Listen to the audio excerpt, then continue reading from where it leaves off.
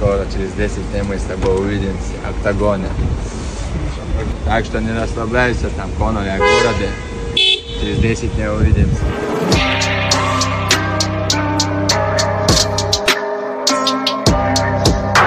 Каждый из вас гарантированно заработает 3000 рублей без вложений благодаря проекту Одиссей. Вы не ослышались, вы ничем не рискуете, а наоборот получаете 3000 рублей за простые действия. Первое написали менеджеру, второе получили ссылку для работы, третье все сделали по простой инструкции, которая займет 30 минут, четвертое вывели все деньги на свою карту и пятое поблагодарили менеджера. Никаких вложений от вас не требуется, все очень просто. Я сам зарабатываю с проектом Одиссей, когда у меня есть свободное от создания контента время.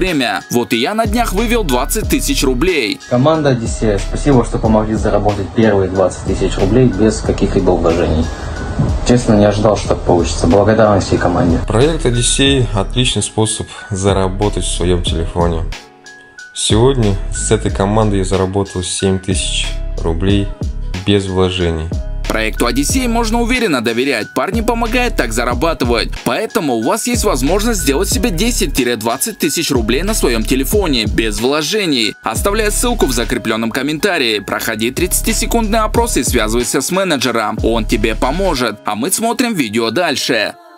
Пока Анатолий Сульянов прямо с самого начала выпуска HFC реалити шоу просит публику подписаться на новый канал, в соседнем хайп реалити «Жизнь бьет ключом». Страсти, драки, танцы, снова драки и снова танцы. В общем, индийские фильмы покуривают в сторонке. А солнце на берегах Пхукета настолько беспощадно, что те же братья Хайбати напрочь забыли былую вражду с завсегдатаями хайпа. А Альфреда, клятвенно угрожавший жестоко разобраться с персами, вовсе вдруг стал братом для Али. Мы уже так нахайповались, на хайп уже. Также можно наблюдать, как у инженера наладились отношения с Фартовым, Тарасовым и Заликом. Абсурд. Фартовый. Брат всех борцов. Брехен дочь, восхабен шойна, шалаби би шалаби. Артем, скажи очень коротко и быстро. Что-нибудь. Коротко и быстро. К этому моменту вроде как все успели провести свои бои, правда результаты поединков хранятся за семью замками.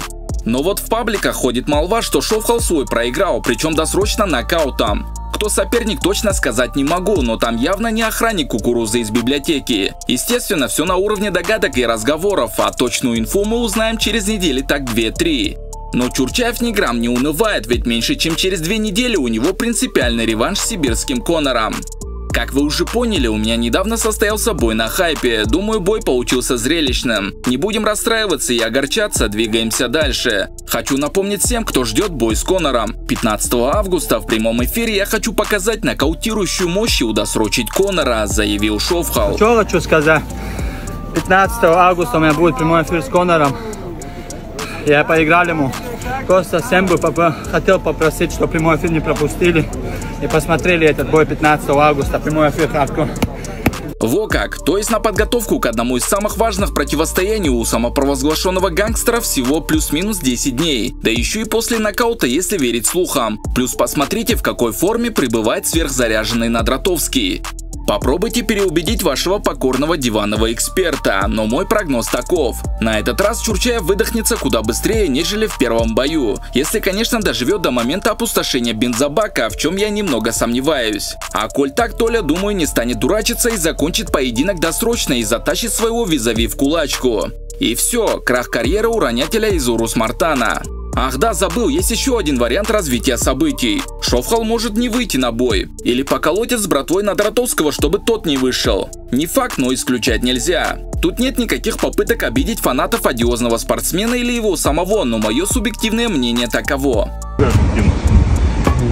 Конор, я уже в городе, Москве. Скоро, через 10 дней мы с тобой увидимся в октагоне. Короче, так, так что не расслабляйся там, Конор, я в городе. Через 10 дней увидимся. 15 августа пройдет бой. Тот самый долгожданный реванш с Шавхалом Чурчаем, где я выйду и буду по-настоящему показывать сибирскую мощь, где я буду уже заканчивать этот бой во втором раунде. Если он выживет и переживет второй раунд, Это будет чудо. Предсказание сибирского Конора. Этот бой я закончу уже во втором раунде. А как думаете вы? Какие прогнозы у вас на реванш Конора с Шовхалом? И что делать дальше стремящемуся в UFC Чурчаеву в случае его очередного поражения? Пишите ваше мнение в комментариях, не скупитесь на лайки и обязательно подпишитесь на канал, чтобы всегда держать руку на пульсе самых горячих событий в нише ММА.